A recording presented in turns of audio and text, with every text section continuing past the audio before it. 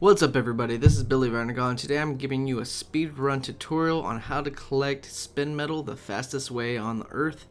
Uh, what you gotta do is you gotta go to the Cosmodrome and we're gonna go to the Skywatch because I found that the Skywatch is the best place. So you wanna jump onto your Sparrow and we're gonna fly across the Steppes through the Mothyards and through the lunar base until you get to the Skywatch. Now, a lot of people don't know the names of the places yet if you're new to the game, but this is a great place to uh, collect low-level guns from chests spin metal, and occasionally you might get some lucky chests that'll give you um, some ascendant materials. Um, I get ascendant shards up here once every uh, 30 or 40 chests.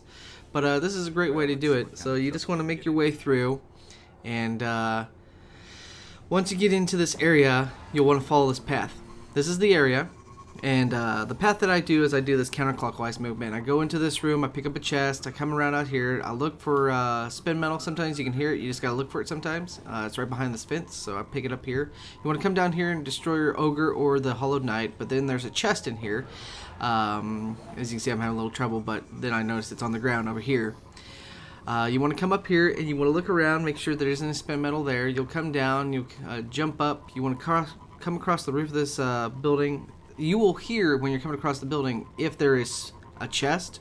This is usually where you find chests is inside or on top of the building. Come around the outside, you'll find spin metal here. If you don't see spin metal out here, it means that it could actually be inside. But uh, it'll spawn outside and inside there. You want to come in here and you want to go into the room and look behind the desk. You'll find a chest there sometimes. And then you want to come around to the back side and you just want to jump here to see if there's uh, anything around. But I found the spin metal right in front of it. it is the chest and then you want to make your way back to this and you want to look on that clip because sometimes there's a chest there.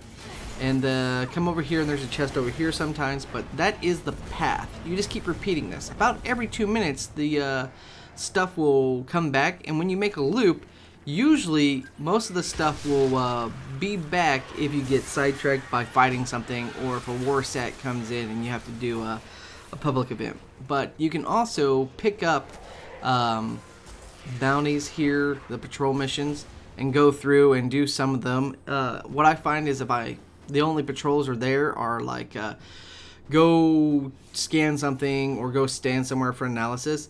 I usually just pick those up and then abandon them, which forces the game to repopulate them with a new uh, patrol mission for you later. But you just want to make sure that you uh, keep following this route, and you'll uh, you'll pick up chests quite often. Um, and spin metal. It's a it's a good little route. I like it because you can run everywhere and sprint and get what you need. As you can see here, I got a Karuna falling ship. There's a spin metal right there. Come back through here, kill that dude. I check. I'm kind of going a little bit too fast for that to spawn back, but they usually come back within every two minutes. And this works really well when there are not other people on the map. If there are other people, it can really throw off the timing of the system because they could end up picking up a chest before you can uh, get to that area and then it throws off the timing in your rotation. So if you get a lot of people coming there, it might be best for you just to leave and then uh, come back in and then get there and just do it by yourself. If you're going to do it with a, a few people, uh, stick together. Don't crisscross across the map because that'll throw off the timing and how the loop works. Um, but yeah, I uh, usually can get about 50 uh, spin metal every 30 to, um, or actually every 20 to 30 minutes. And um, sometimes you'll get lucky and you'll get a nice chest and you'll get 12. Uh, so, but if you just keep following this loop, you'll do fine. Um, you know, I think it's the fastest way. You know, I found one out here, so I don't even really have to go in here because I know that I probably got it. But I just go in there and just check to be sure. Um, you know, just check every room, every area that I keep going to, and you will constantly pick up spin metal. Um, spin metal can be used for uh, turning into Vanguard Quartermasters, which is fantastic. If you don't want to play uh, Crucible, if you get a lot of different things, you can do it. But if you get sidetracked, you know, if you want to take a moment to let the reset, you can pick up a bounty where you got to kill something, and you can just come in here, kill it, get your patrol done, and then come back out here and begin back on your loop. Um, it's a great way to just get spin metal. You can turn those into the quartermasters. That gives you reputation and marks, and that's that's the best part about it is you can you can play just PVE and get marks for the Crucible, and you can still buy stuff and you can get reputation.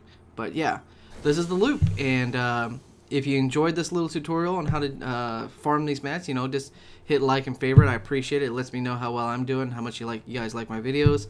And then, um, you know, I'll see you out there in the raids. I'm looking forward to the, uh, the dark below.